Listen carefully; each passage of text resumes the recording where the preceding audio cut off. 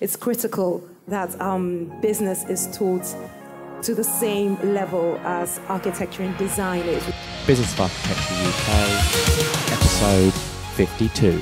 Ryan Willard here, Business of Architecture UK, with a very special announcement. This Wednesday, I will be leading a webinar which will be looking at how three leaders of top UK architecture practices have broke the mold and grown their businesses from being bedroom practices or working in the spare room to international offices with landmark projects. Um, in this training, you will discover how these architects have gone from very humble beginnings, not knowing where work was going to come from, to building these internationally respected offices with these multi million pound projects that, in some cases, define city skylines.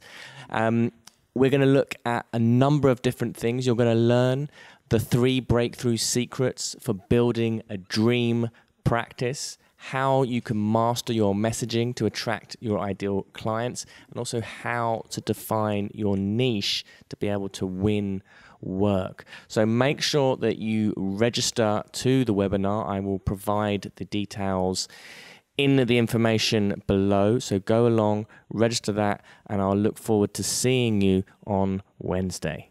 Hello and welcome to the Business of Architecture UK. I'm your host, Ryan Willard, and this week we've got the second part of our BOA UK live event that happened a couple of months ago, where we were discussing the seven threats to an architecture business or the seven most common obstacles that many architecture businesses and practices experience and I think we were halfway through our panel discussion with David West, with Tara Gbolade, Johan Taft, Tim Burgess, and Hazel Rounding. We're discussing how they have navigated around these obstacles and threats, and how these threats actually have evolved over the course of them running a practice and how they change as their practices grow. So, without any more hesitation, sit back and relax and enjoy part two of Seven Threats to an Architecture Practice. I think it's quite interesting to hear how these threats or how these how these obstacles how they change over time, and obviously, and obviously, it's it's quite interesting to maybe Hazel, you could say a bit more about how these have started, how as a more mature practice, more a mature business, these are very different animals. Yeah, I mean, I, I think we, because we had the benefit of surviving the 2008, and it was that, it was a 10 year old practice, but it was, it was a new business and it was about survival. Hmm. Um, I think, you know, uh, without um, underselling those first two years, what we had created was a brand and an identity, and we were very much about a design practice, and we were very much about taking that forward. Um, so we had values related to that as much as anything. Um, 2008 was really difficult. I think a lot of people had to rebuild businesses after it. Um, what we set out to do more than anything was to um, make sure that we were diversified, retaining the brand standards, retaining our approach.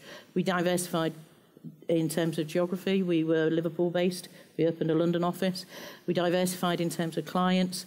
Uh, we used uh, the work that we already had from those 10 years to really sell ourselves. You know, a lot of people were left with concrete frames on site. We were lucky enough to have finished a really big residential project and a really big commercial project, and we just took those out. And you know, took the, when we talk about fear of selling, for me that was a bit of a case of well, nobody really knows me. I've got nothing to lose, but I've got two really good projects and a whole portfolio behind those to sell. So you know, let's just do it. let's let's give it a go.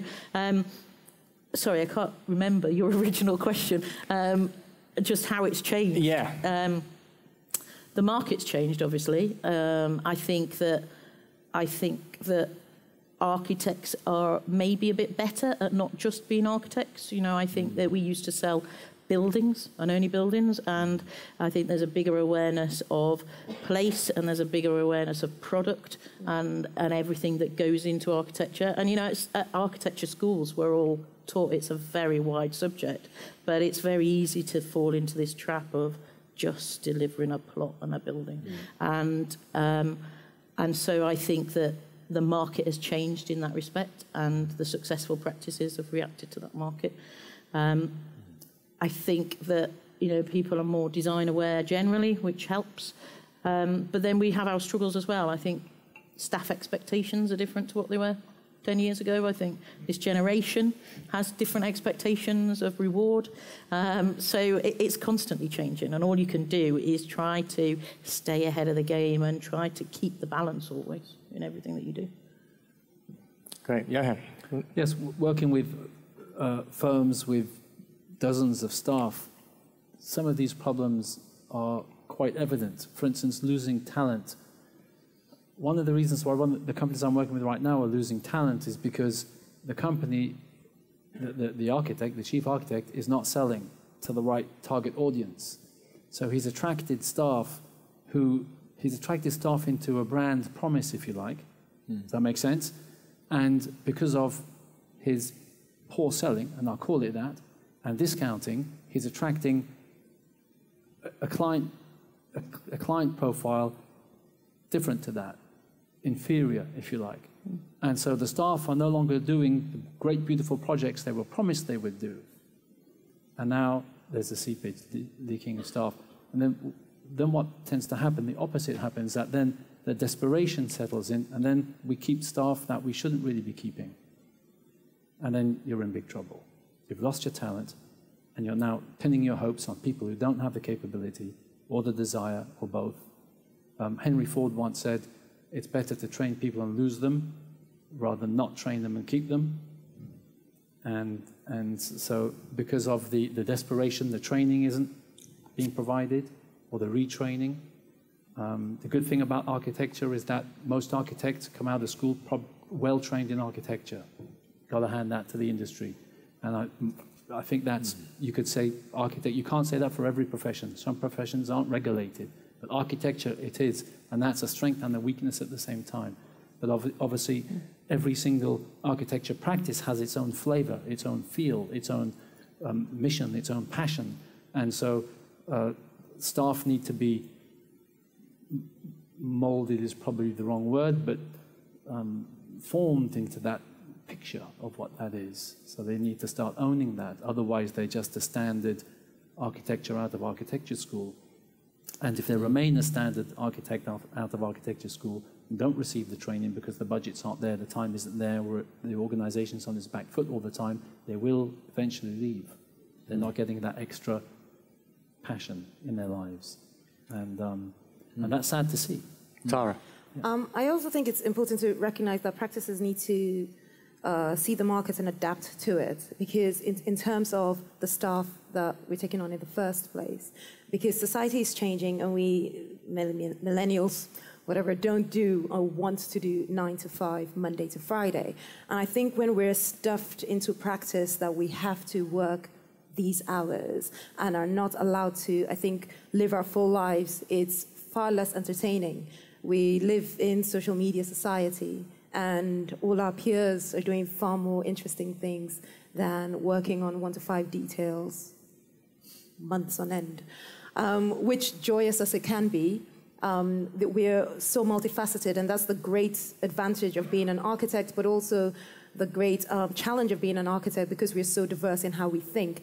And I don't know very many architects that are only interested in architecture. I was speaking earlier to someone, and there are many architects who are interested in pottery and sketching and whatever else. And I think when there's that lack of appreciation for what our, um, our talent, our staff want, and encouraging them to do that, I think it's easier to lose talent. I think actually when you fan those flames of, actually, if you've got another talent, to make a business out of it, we'll support you however we can. It's just inevitable. You'll have someone um, who stays with you longer because they're like, actually, this person believes in what I'm trying to achieve here. Mm. And I think once, once you're able to adapt, as a practice, once you're able to adapt to the type of staff that are coming in, then they're just more likely to work harder for you. They're just more likely to dedicate far more to you. Mm. So, yeah, I think practices also need to change the way we think about.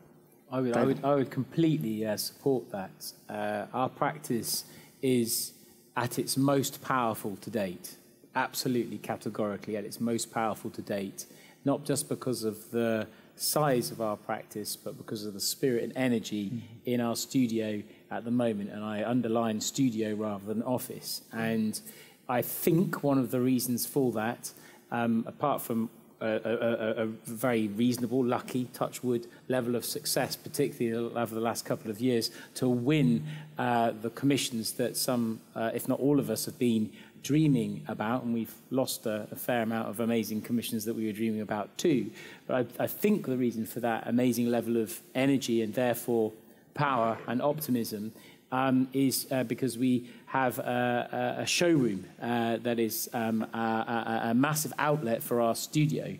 And the showroom uh, it can, can showcase uh, an absolute extraordinary plethora of, of interests. You know, one of the opening uh, shows in our showroom was actually simply called Spare Time. And it was, it was simply us recognizing the sheer level of talent within the four window walls of our, of our studio. And all currently 65 people at that point showcased something that they did in their spare time. And we made the equivalent of a Royal Academy Summer Show mini uh, in September and and it was great. It was beautiful, and, and, and you could feel the passion and the the the the, the, the level of, of com, uh, complex um, uh, qualities that were in were in the studio. And then suddenly, I can I can have a voice, I can have a voice, I can have a voice, I can have a mm. voice. And now we're driving all sorts of amazing initiatives, whether it's about industry and stacked living, or car parking, or colleges and high streets, etc., etc this amazing energy is emanate, literally emanating uh, from our showroom. And if I was working within our studio, which I do, um, I would feel that energy. And it, it's, it's, beyond the day to day project. And, and so I think that diversification of our profession and that um, uh, reaching out and exploring uh, uh um, uh, in a different way is, um, is, is, is obviously uh, part of the future of the profession in terms of its resilience, yeah. obviously. Brilliant. Tim, do you want to add anything? So, remind me of your original question. My original question was asking how these have, how these kind of evolve over time as practices mature. Ah, well, I think the simple answer to that is you start with a cash problem, you move on to a time problem, and you end at a people problem. That's broadly how it goes. And that is because at the beginning, you have to go and get the work. You haven't got any work, so you've got a cash problem. Therefore, you've got a marketing problem, essentially. Then you get some work in, and then you've got to figure out how to do the work. And then you've got a time problem because there's not enough time or people to do all the work. So then you get loads of people in, and then what you're left with is you've got enough work, time to do the work, and you're just dealing with the people part. And that's where I think, you know, you have to have the sense of purpose, mission, whatever it is that attracts in the right people who want to be on your ship going in the direction it's broadly going in, mm. and also being part of that ship and deciding collectively, you know, mm. where you're going. Because that's what, you know, ultimately then gives it its um, liftoff. Mm. But yeah, I suspect that's the general trajectory. Brilliant. Anyone else like to add anything to that? Um, I would just like to add to that little story that then I think that that ship is is about a bit of natural evolution with the people that you've brought on board. Um, I think our practice has only evolved because of the people that have bought into it. They're the right kind of people, and then mm. everybody needs to, to have something else to move on to and some kind of career growth because that is when you start phasing losing talent. So you've got to evolve opportunities for those people. We would never have opened a London studio if someone hadn't said, I'll give it a go. We would never really start talking about place if somebody hadn't said, I care about more than the buildings. So, you know, it's kind of how a practice never gets stale as well. And that, that will only happen with the people around you. You know, we're only as good as the people we employ. Mm. Great. I was I think it's, it's crucial to recognise the drives and the differentiation between the people that um, uh, are within a creative environment. I think it's so, so crucial. Not everybody wants to set up their own practice. Mm. Read all about it. Not everybody wants to do it. It's not an absolute, you must do this. Um, I think I must have interviewed and employed hundreds of people over the last 15, 20 years. I was a director at Will Alsop's practice for three years before setting up uh, my own, you know, um, our practice. And um, I think uh, with, my business partner, Christophe Egret, and I didn't think I wanted to set up my own practice. It wasn't something that absolutely kept me up at night saying, I've got to do this, I've got to do this. It was just, a, and it's a long story, which wouldn't be in a three minutes, so I'm not going to tell it, but it was just a, a moment in time. Oh, actually, fuck it, I'll do it. You know, I'll have a go at that and, and do that. Um, it wasn't something that was driving me and eating me up and saying, I must do this. But boy, there's been at least five people that I've interviewed and within seconds known that person will be setting up their own practice within the next five, six, seven, eight, nine, ten years. And that's great. And I'm enjoying them in our studio while they want to be within our studio. Um, and good luck when they're ready to, to fly. And hopefully we can help um, that. You know, we'll be in a position to help that. But it's not that that's then the be all and end all. There are lots of people who don't want to do that and actually work um, and continue to work and grow and nurture the team that they're within. And as long as that constant sort of um, either a, a, career growth, financial growth, or, or straightforward um, uh, happiness is continuing to grow in terms of support, in terms of their, their lives, their choices, their locational choices, their family choices, their schooling choices, as their uh, continued uh, uh life uh, uh, continues in front of them, is respected and, and nurtured, um, I think you can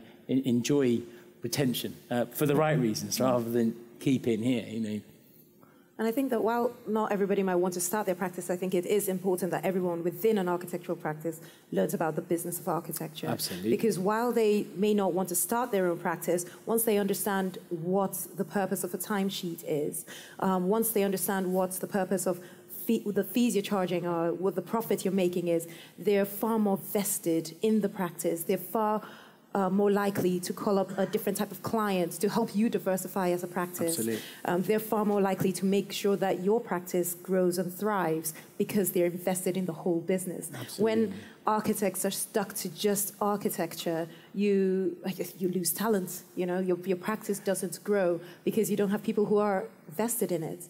Um, I think once you really start to understand the purpose of practice, of marketing, you enjoy it far better. I've come across far too many architects, including me in my previous years, who are just not confident to speak to a client, not confident to speak to other architects, which is shocking because we're, we're used to speaking in crits, we're used to defending our own um, ideas in mm. university, mm. and then we come out and we're so focused on this detailing or, design, which I enjoyed. I don't want to make it like I didn't, but um, but then I, I, think we we we lose our value. We lose actually the again the, the range of talents that we have. We're unable to express that, and yeah, when we're not able to learn about the whole business, we don't need to know every single detail, but I think once everybody is invested in how practice runs and why, why we do things the way we do, starting with why, it's just a far easier and far more enjoyable ride. Mm. You've, you've got a problem when the only person thinking about sales, you were talking about sales and marketing earlier on, sales marketing, when the only person thinking about sales is the boss, you've got a problem. Yeah. You've got a very big problem. And when employees do not are not part of that culture of expansion and growth and finding the next client, all they want to do is fulfill the work, you're stuck. You can't do it on your own. And, and that's your fault.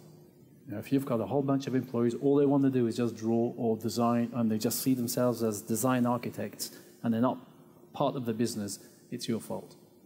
Mm. And it's your opportunity at the same time. So um, the more, you know, I, I really like what you, you, you shared there, how you've, you know, people talk they call it now they now call it um, employee engagement. We used to call it a sense of ownership. Employees have a sense of ownership in the business when they see the big picture of the business, mm. when they see the passion and they share the passion. They start owning chunks of that business, and you expand on that. You know, you can only eat the pizza a slice at a time, so don't give them too much. You know, but they've got their area expertise, and you start expanding that, and you find things that they might be interested in. Give them a little bit, give them a bit of responsibility, let them run, make a few mistakes, pick themselves up and, and now you've got, you know, like again, Henry Ford, he said some great things. He, he said that uh, for every, I have all these employees, basically, I pay for all these uh, uh, arms and legs in my factories, and the great thing is I get all these brains thrown in for free. Yeah. and you have, you've got these people doing all this creative work for you, but you've got brains, you've got these people know people, they know networks, they speak to your target audience probably more frequently than you do because they're out there in the field. I do, I do think the more you can share with your team, I hope, because I'm sort of in the founding director position, so I can only slightly assume to know what people think of me, is um, the more you can share, the more uh, you can be respected and the more uh, people can feel empowered. Mm. Uh, and I personally make a huge effort to share as many highs and as many lows as raw, with as much raw emotion as I can as it happens, rather than concealing things. So when we win, we win big, and when we lose, we lose big together. And uh, you know, we had one two weeks ago uh, it was extraordinary. It was the day after Valentine's Day. And we lost so hard. It was such a horrible thing. I was actually in a state of shock about the loss. But we gathered, all 65 plus of us, together, and we had a moment of mourning. And, uh, and, uh, and it was good. And I felt better for sharing. And everybody knew, and I didn't hold anything back from what I'd just learned from the client who'd let us down um, and the uh, wicked architect that had Ford discounted to win work uh, half the price of the market, I'm afraid. I won't name and shame, I'd love to. Um, a couple more drinks I would. I uh, and, and, we shared that, and it was good, you know, and, and, and, and I think too many practices, and I'm, I'm sharing that because I don't know any of you, I, I know one of you definitely, Sophie, because she used to work in the studio and, and um, great future. And uh, it's just if you're in small practices, I think there are quite a lot of people, and I've learned this because people have told me when I interviewed them for jobs, I'm leaving that practice because I don't know what's going on. Mm. I'm leaving mm. that practice because I don't feel any affinity to the leadership. I'm leaving that practice because it's all kind of held inside and mm. secretive, and, and I don't want that. and I'm, I'm, I want uh, to see where my career is progressing. I'm not just a designer. I, I, I do acknowledge the other things that are going on in, in, in the world, and I want to be part of that. And uh, uh, if you're in a five person practice, 10 person practice, 15 person practice, 20, 30, whatever it is, I think it's incredibly important to, to, to, to, to share. And, and, yeah. uh, and, and, you're not taught to do that at architecture school because it's mostly, mostly taught to be about you yeah. yeah. and yeah. pitching your pitch. Yeah. I completely agree. And in a way, that was the thing that launched me into setting up a practice. I worked in a practice where I felt disempowered. I felt uh, you know, lost and alone, and I didn't really understand what was going on. I didn't feel valued, I didn't feel respected, I didn't feel looked after. And I just thought, you know what, I'd be no worse out in the world by myself, just paddling my own little canoe right mm. now, than I am here. And in doing that, it, it gave me this perfect model of like, that is, that is the opposite of where I want to be. Mm. And I'm going to create something in a completely different model which is the type of place where I would love to go and work. Mm. Great. So you know, we can you can work flexibly in my practice. Uh, if you want to bring your dog to work, that's fine. If you turn up with your kids, that's also fine. Mm. You know, it's like it properly is. It's whatever it. It's what it's your full life, right? That yeah. whole thing of you just turn up. Yeah work the hours you want to work. I mean, within some kind of, you know, once we've established what needs to get done on any given week and what your responsibilities are, there's, there's freedom and there's flexibility because that's the type of place where, you know, because at the time I was working in practice, I had a kid, I wanted to work flexibly. And although I could, I could do it, I felt like I wasn't really one of the crew. I wasn't really pulling my weight, and it was a difficult place to be. Mm. And I just thought, I never, ever want to make anyone feel that way. And so it became a completely different sort of model. Every, I think every organization will have its culture. Mm. But the bottom line is this you can distill it right down. If you're running a business, an architecture business, or any other business for that matter, but from an architecture point of view, if you're running an architecture business, you need to understand this Architecture is about drawings, bricks, and mortar. Correct? Space. Still it down? Space. Yeah? Making life better. Making life better. That's it. Architecture business is about people. First and foremost, people make money for you. It's about people. You're right. It's people and money. And if you're running an architecture business, I would suggest that you make it your business to put the horse before the cart and get absolutely brilliant at understanding people and money. The rest, you've got all these people you pay good money. They'll figure it out on the architecture side. And of course, bring them into the wider conversation as well.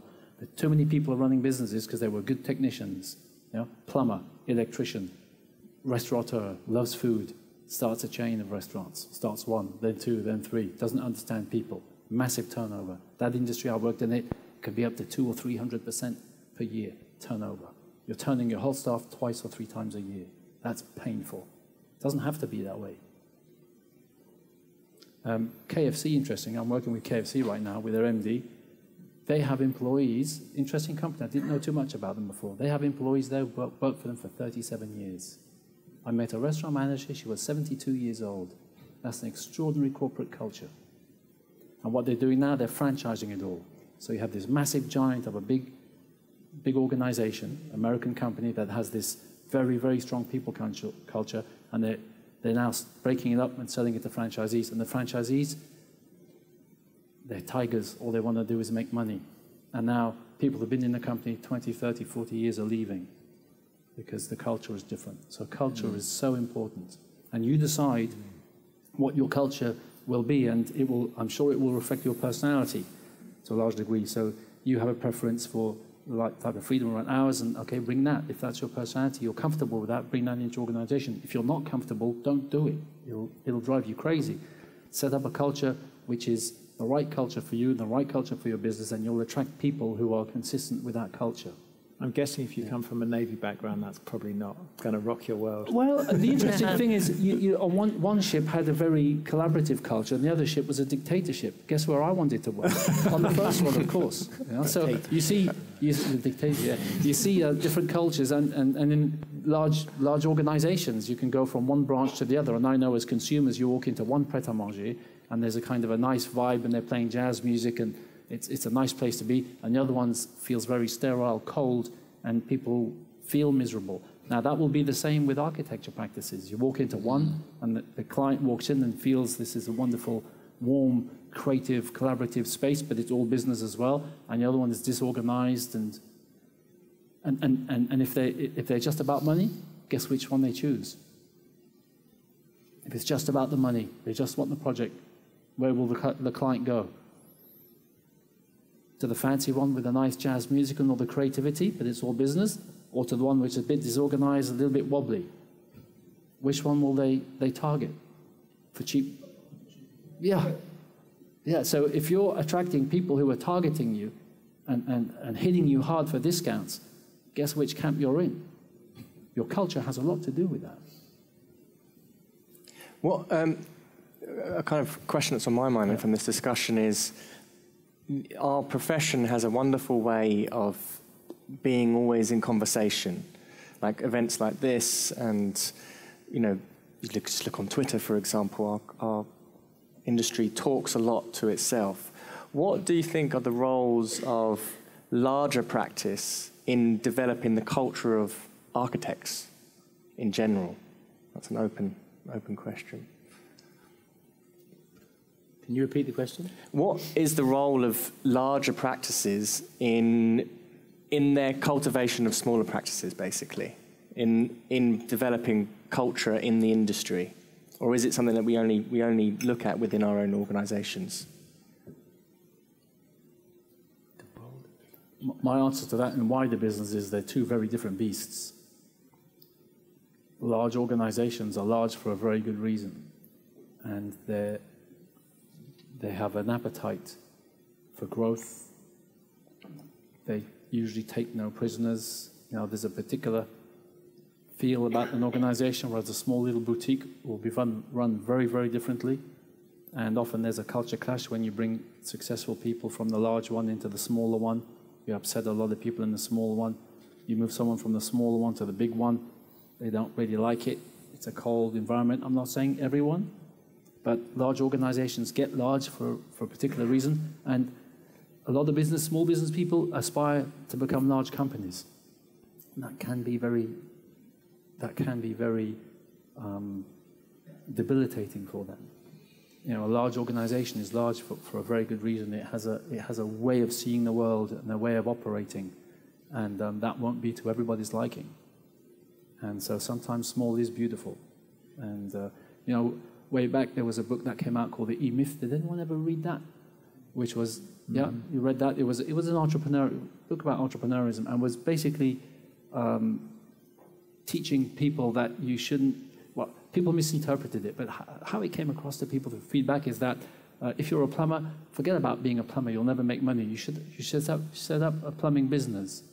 Right? If you're an architect, you'll never make a lot of money. You need to become an architect, an architecture firm to make money. Now, the guy who's, or the girl who's really good at architecture might love to be an architect, and this is why we are talking about earlier on. Some people want to go and set up their own businesses, and if they do, it could be the most miserable thing they've ever done. Their life is turned to misery because they're not wired that way. And, um, and the learning curves are too steep, and the mistakes are too shocking to them.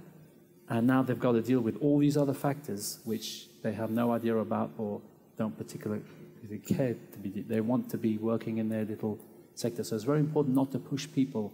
So sometimes we promote people into management because they're very good at what they do. Suddenly their life is turned to hell. They might not tell you because they don't want to upset you, but if you read between the lines, you'll see their life is, it was it was too much for them. Tim, I thought I might answer a different question um, which was go for it.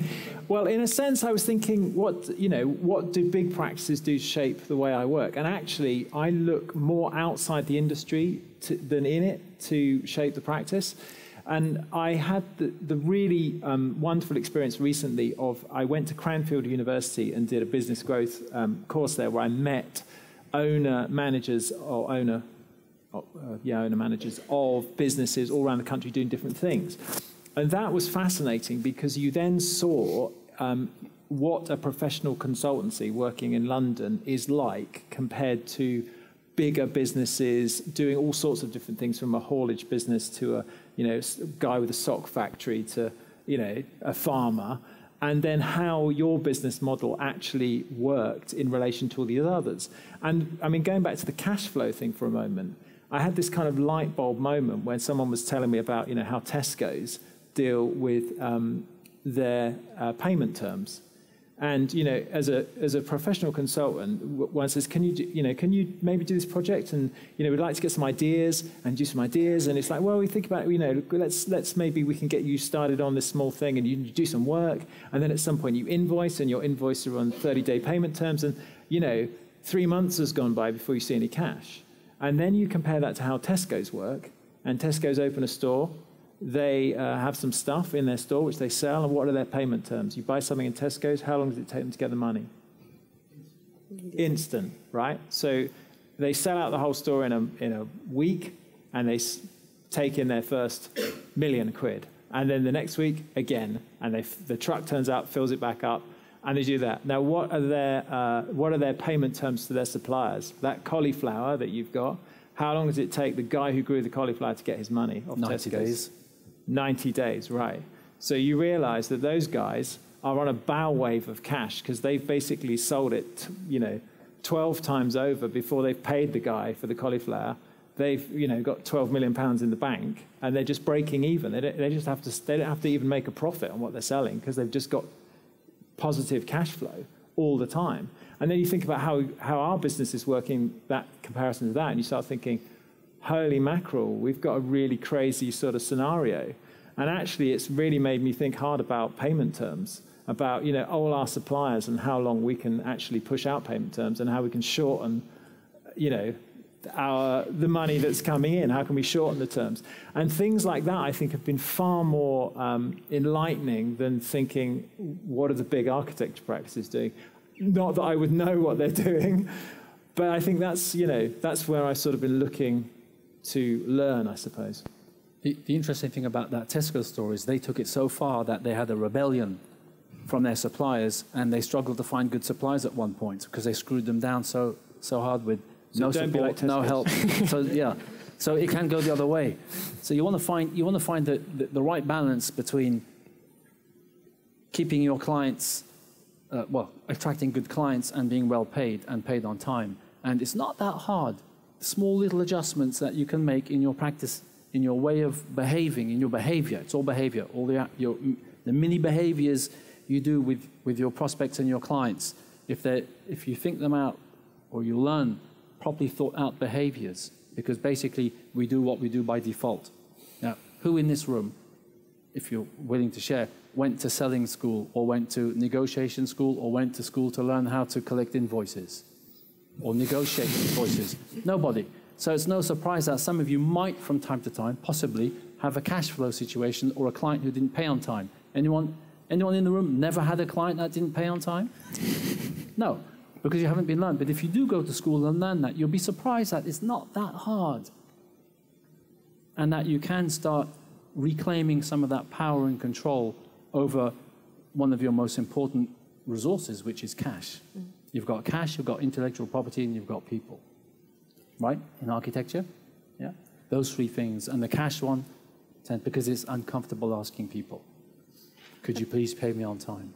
I also think this is where it's important to recognize our value as architects. And uh, far too many architects don't recognize their value. I mean, for example, within our practice, we have a commencement fee. So if we're going to put pen to paper, you have to pay us.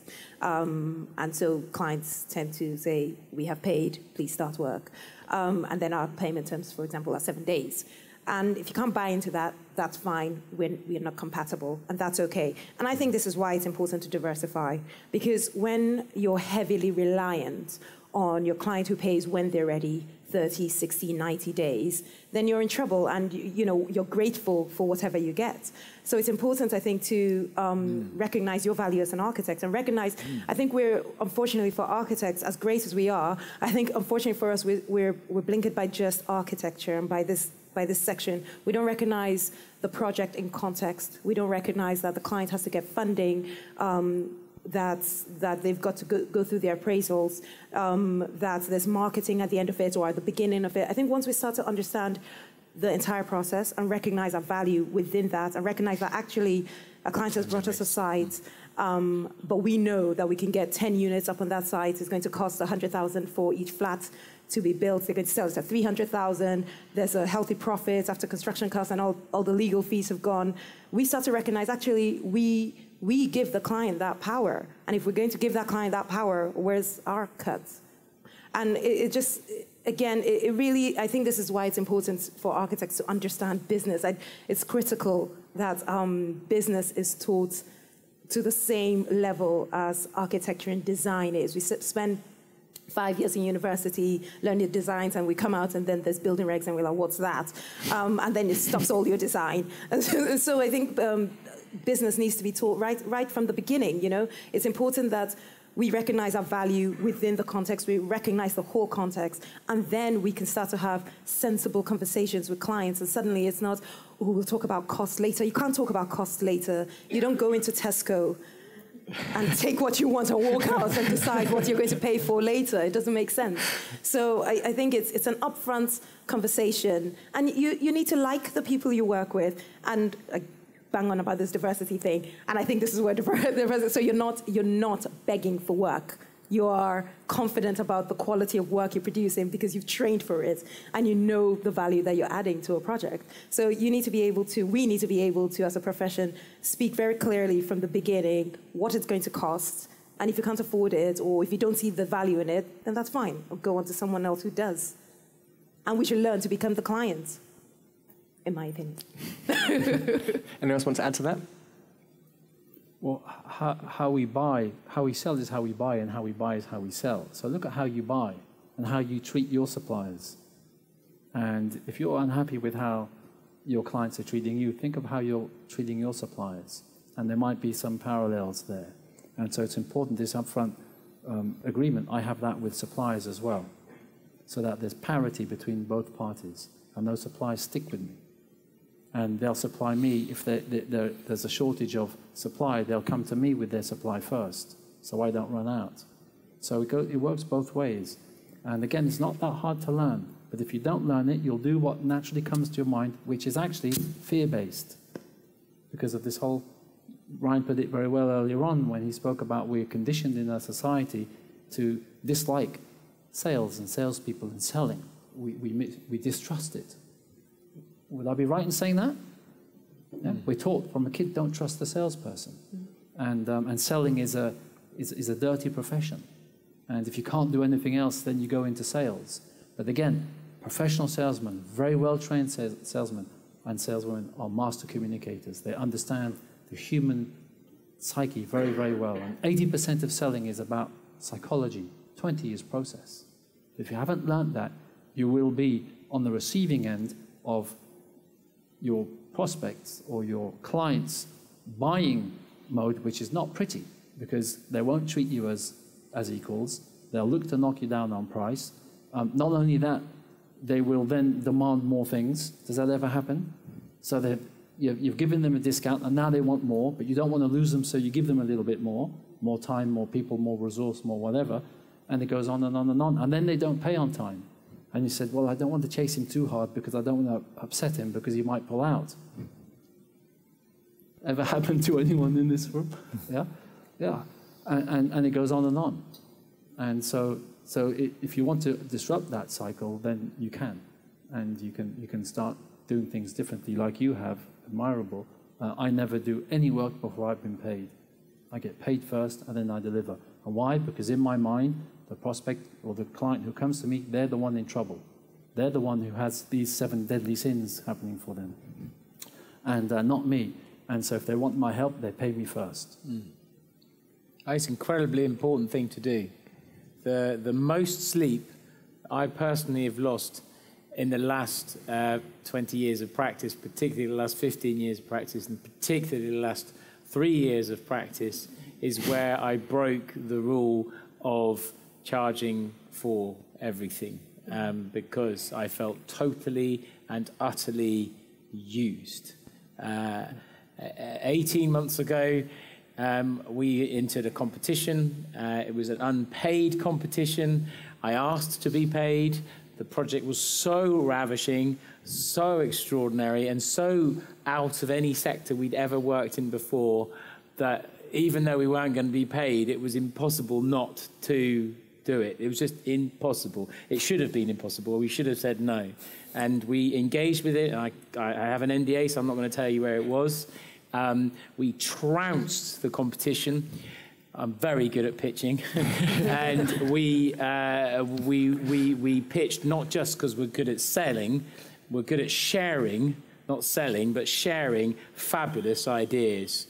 And uh, and, and, our client, or near the client, thought our ideas were absolutely extraordinary.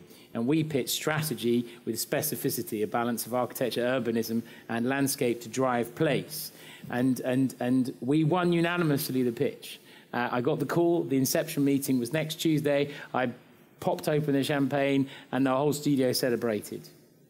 Between that time and the inception meeting, I got a call saying that our practice wasn't well known enough and that we weren't this star or that star. I'm not going to say which star. We were dumped by the investors having won the competition. And our scheme got consent a little while ago. Uh, I saw it, and it's not our scheme anymore, it's somebody else's scheme, and I can't tell you any more than that. but it was very, very, very painful. And I tried to work out why it was so painful. One, because our ideas had been stolen blatantly, um, but two, we had no credit, no authorship at all. And three, we had not been paid a penny. And it was like deeply, deeply hurtful. And uh, on so many levels. And in a way, I think if you're paid at least something, then at least you can say it was a commission. It was a £1,000 commission. It was a £2,000 commission. It was a £5,000 commission. It was a £10,000 commission. You know, when you get involved in a RIBA competition and you get paid £2,500, you're not hitting yourself when you lose. The, the, the, loser doesn't feel deeply wounded. You still put it on your website as a young practice and say, we came fourth. We were paid two and a half thousand pounds. It was an honorarium. It was half of nothing, but it was still two and a half thousand pounds. It was a commission. We're not silenced. It's not embarrassing. We were the runners up.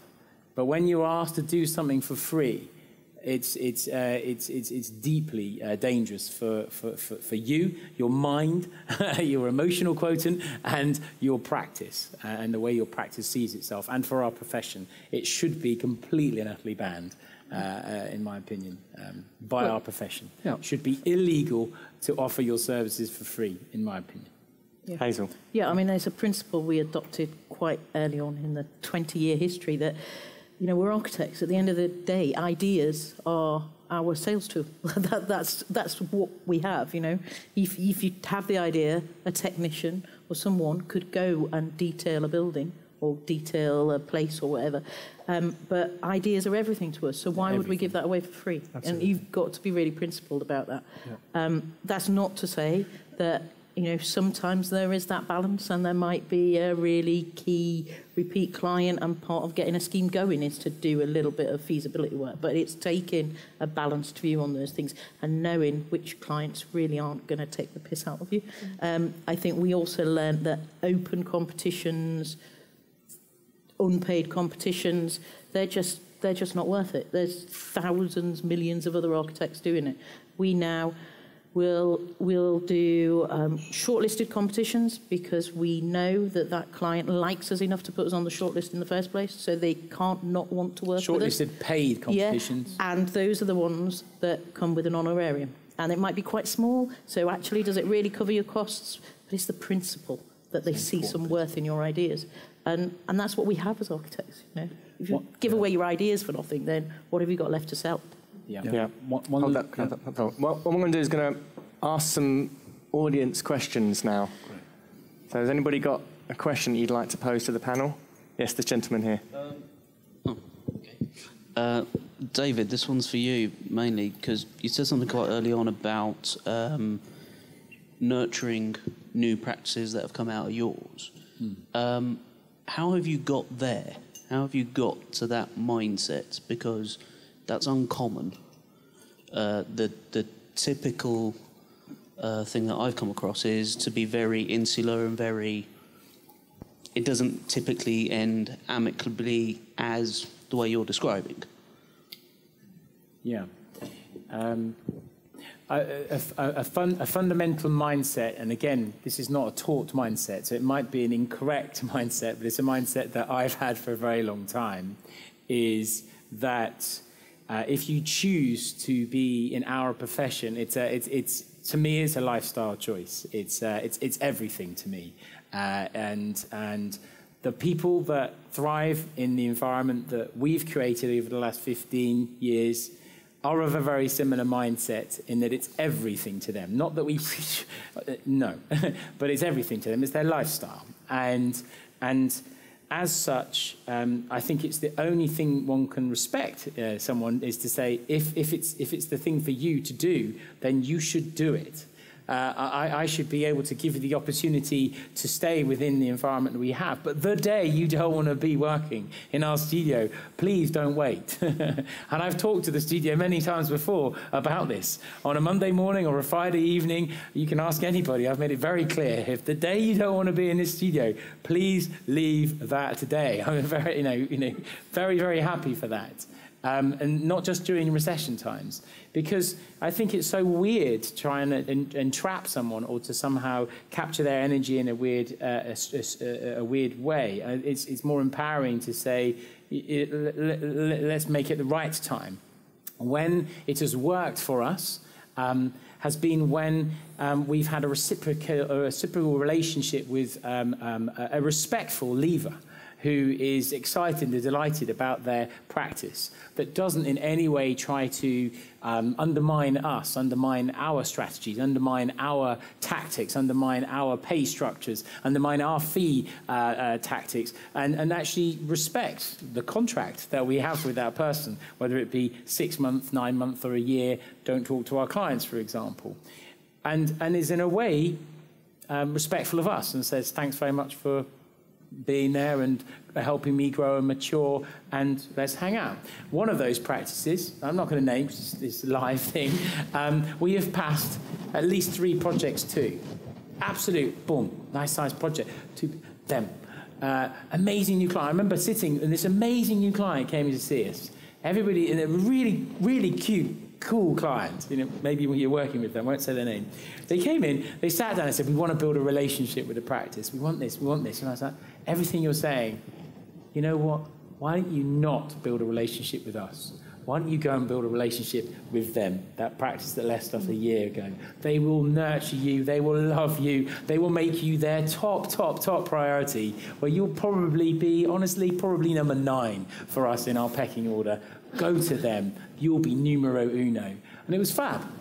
But on the flip side, I remember a terrible moment when someone else came to me and said, I've just called up one of your, our clients, and, uh, and I've offered to do what you're doing cheaper because I can, because it's easy for me to do that.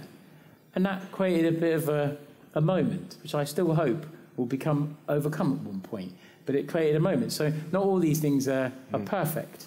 Um, but as I say, we've had five or six practices pop out, either graphic design practices or architecture practices or blended architecture and landscape practices. And, and I think it's fab. Hope there's more. Yeah. Hazel. I, I don't think it's so unusual. If uh, in certain practices it might be unusual in some. Uh, you know, we've done a similar thing, and, and I totally agree with David. If, if someone has decided they want to give it a go themselves and they've got enough ambition and energy to do that, um, and they are itching to do it, then there's no point in trying to shackle them to a desk in your studio.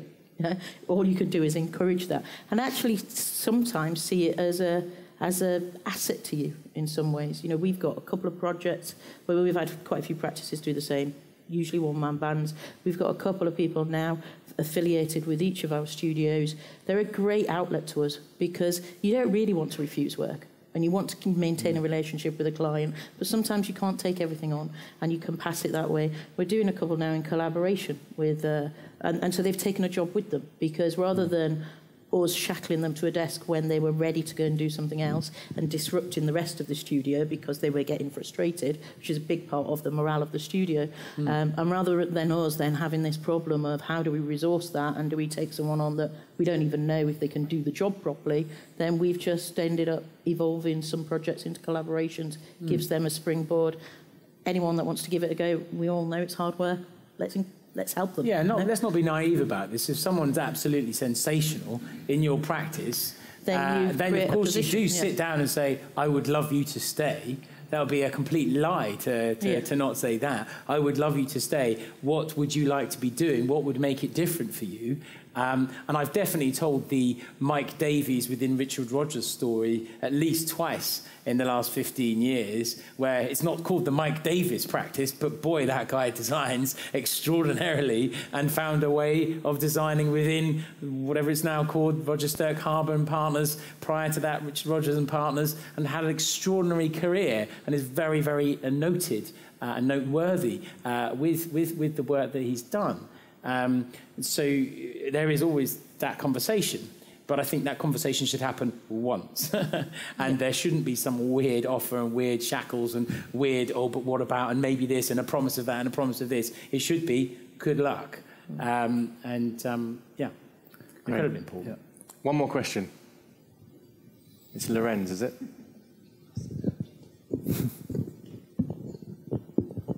Hi, thank you. On, on point three, I think, I guess the other big threat is where is no market demand. So I guess all of you have uh, mm, um, been through the 2008 crisis. So I wonder if you can share with us some very practical, very specific tips on how to survive in you know, uh, trouble, tr- troubled times, especially now that probably we're not in a big crisis, probably as as that one, but yet there are clouds, big clouds at the horizon. Probably, I don't know.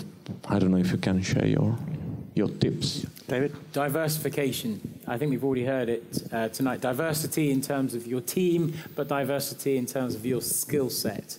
Uh, I'm an urban designer, um, so that's a rather fundamental thing to the foundation of, of our practice 50 50 uh, combination of architecture and urban design. Christophe Egret, architect, and I'm an urban designer. But as the studio has grown, we've continued to diversify, diversify, diversify. We were just as prone as anybody else um, in 2007, 2008, and we actually found that it was the diversification into public realm and landscape and detailed landscape and uh, installations and art interventions and sculpture in a way that actually uh, survived. And, and the, the one project that saw us through the toughest year was actually a kinetic, or semi-kinetic, uh, titanium sculpture in, in, in Stratford, which all had us scratching our heads in disbelief as to why on earth one would get involved in that, do that. But actually it was joyful and it allowed us to think in a different way and it allowed us to expand into landscape. And now we have seven, arch- seven landscape architects in the studio.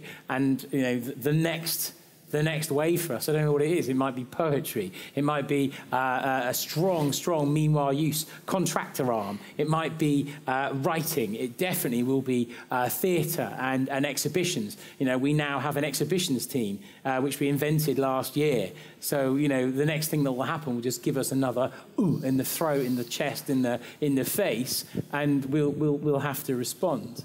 Um, so diversification and not being afraid of diversification is, for me, the answer to the question. Tim? There's another more, you said about practical uh, ideas. I mean, I think the fundamental thing is discovering what the market need actually is. Um, I had a very useful experience when I first set up a practice that I um, there was these sort of websites where you could get leads to go and talk to people about projects and you'd oh, put yeah. something in and you know you'd get and five architects were allowed to have this person's details and i got the details of somebody on the south downs who wanted a new build house I thought, oh, that's fantastic. I got this guy's details. And the problem was I had zero portfolio. I had nothing because I'd just set up. I was literally sat in my shed, just, you know, scratching my head and wondering what to do. uh, and so I rang the guy and said, look, can I come and talk to you? Come see the site, come and have a chat, what you want, you know, and sat and listened to him and his wife about the dream and the vision. And we walked all around and looked at the rocks and the trees and everything else. And off I went again. And he rang me and said, I'd like to come and do the work. And off we went. And then one day when I was down there on site, he said, you know why I gave you the job, don't you? And I said, I have absolutely no idea. And he said, well, I, there's five architects' names. Um, four of them sent me stuff saying, this is what we do. And you turned up and said, what do you want? And in a way, that has come to be the kind of hallmark of what we do now. And funnily enough, uh, the experience of going to Cranfield last year, um, I had a load of lectures on strategy and business strategy, and they talked about perceived user value. In other words, what is it that your clients mm. find valuable is the mm. core question. And it comes back to exactly the same thing of asking people, what is it you want from us? Mm. And then trying to deliver that thing. And so, in a way, of the existing clients or existing leads you have, actually going and asking them what they want, listening and genuinely listening, and not just going, we did this architecture thing, you want this, but actually trying to understand what it is that they are asking you for, and then seeing if you can deliver that thing. Um, and that can lead you in all sorts of other interesting directions that you didn't necessarily see coming. Um, I'd go even further. Not only what are they looking for, what's hurting them? What are they fearful of? What didn't work in the past? What are they hoping to mitigate against? What have they done that didn't work they'd never want to do again? Opening up that whole conversation and find out what's hurting them. And then scratch it a little bit so they feel it right there. And then, and because here's the thing people buy for emotional reasons. Then they justify it with logic. And most of us present people with a logical solution. Yeah. We go the wrong way around. So, very nice. Ask them what they want mm. and why they want it and why they wouldn't want it this way and why they want it that way and just open up the conversation conversation and so yeah people buy for emotional reasons mm. and the other thing is don't go out there to get your emotional needs met if you're going out there to the marketplace to get your emotional needs met you're in big trouble mm. because they will smell that and they will a good buyer will smell that and this is what tesco tesco train they send them to psychological warfare training camps yeah to smell a, a seller's fear etc., low self-esteem, and they go in there and they tear them apart, and they get another half a percent off on 75,000 tons of apples for that year. And the guy walks away thinking he, he did a good deal because they only took an extra half a percent. But over 75,000 tons of apples, it's massive. So you've got people out there trained. But your average person who isn't trained is still good at that. My wife, she's from Vietnam. She is fierce when she goes to the marketplace. she learned that from her mum and all the other women in the village. Fierce. So where did you learn that? I want to be able to, to buy like that. Mm. Yeah. So um, yeah. Tara. No, I'd, I'd, I'd echo. Um, I think I think everything that, that's said, in, in, in my view, is uh, that concept of diversity. And I think as architects, we just need to stop being lazy. I think we we we like something, we do architecture, and we stick to it but we don't challenge ourselves enough to mm. say, actually, do you know what? What's pushing the boundary? What's in society? What's the need in society? And how can we respond to mm. it? Um, if you want to be a fitness blogger, do it. If you want to be a yoga instructor, do it. Um, but I think we're so lazy that, oh, we've gotten used to this architecture thing. We've spent so much time training in this architecture thing. And actually, the market need is there. It just is about whether you're, you're ready to change your own mindset and respond to it. So The thing, the thing with recessions is a recession on average every eight years. It's a fact. Yeah. Every eight years, there's a recession. How many businesses are prepared for that? How many mindsets understand there's a recession? I go into businesses, I look at their, their, their, um, their accounts, and uh, the first thing I look at is the pile of unpaid invoices. Not that they haven't paid, but their clients haven't paid. And then the balance sheet, etc. Um, but very few companies have reserves for recession. Yeah, I, mean, I would I would echo the diversification and everything else. I mean, going back to the question i itself as well. It, you know, we're architects. We've got innovative, creative minds, and that's not just about the design that you put on paper. You know, we we need to use that in a business sense as well, and. Yeah. And then it is the balance every time between not doing free work and not and not um, exposing yourself too much. But you know, on the back of the last recession is when we, with with the one client that we had, we then went and diversified. We were doing additional rooms for doctor surgeries as kind of efficient little boxes just to pay the salary of one guy. If we had one of those in, that's great. So we were thinking on that level, but at the same time, uh, Urban Splash, who were a great client of ours, chips were down, they were asset managers, where were they going to go? So we developed the modular product with them. They had no fees to pay us for development, yeah. And actually, they gave us a small honorarium for the competition that we did, and then they said, "Well, we haven't got any money to do this." And so then we thought, "Well, let's be creative about it."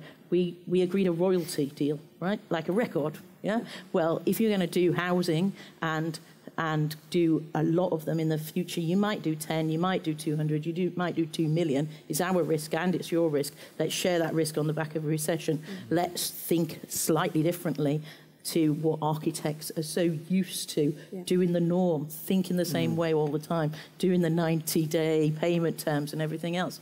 You know, we're architects for a reason. We've got creative minds, so it's just And you can- thinking at every level. And you can only do that if you have a habit of working on the business as Yeah. much as in the business. Yeah. If you're just working in the business, you're chasing your tail. Mm-hmm. You'll never catch up. Yeah. You need to be able to pull one person at least, and I know in your organization it's you, one person needs to elevate themselves from the business and look at the horizon and prepare for those dips in the economy and for whatever else is going on. I think enjoying the change is Yeah. incredibly important. You know, you look for the practical kind of response. Don't wait for it to happen to you.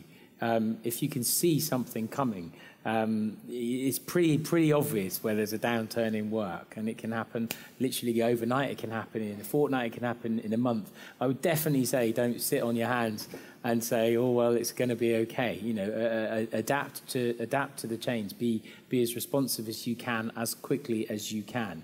Uh, we were often advised when we were a younger practice, and we we do still do that, to have six months of um, um, our overhead in the bank a- as a target. It's not easy to do, but we, we currently have, you know, this is quite a big overhead, 65 people in a groovy, uh, groovy space in Clerkenwell, but we have that in the bank. And yet, even though I listen to that and even though we practice that, I wouldn't wait for that six months of underperformance uh, to then just sort of kill our practice. It would be on month two, after that one month of, ooh, hang on, that's something's not right here, that we'd action something. Yeah. Uh, I don't know what the action is or how, how, how, what the biggest sense of remediation needs to be, or the change of direction, or the change of flow, or the change of how we work, or how we collaborate, or whatever it, the, the response is, whatever the change required, don't wait too long. You have it in the bank, but you behave as if you don't. But absolutely, Yeah. Yeah. absolutely. That's the right way. Yeah. Brilliant. I think we're gonna we're gonna have to end it there. But thank you so much for your conversation and thank you so much for your questions. Massive round of applause too. So that is a wrap. Thank you for listening. The views expressed on this show by my guests do not represent those of the host, and I make no representation, promise, guarantee, pledge, warranty, contract bond, or commitment except to help you be unstoppable.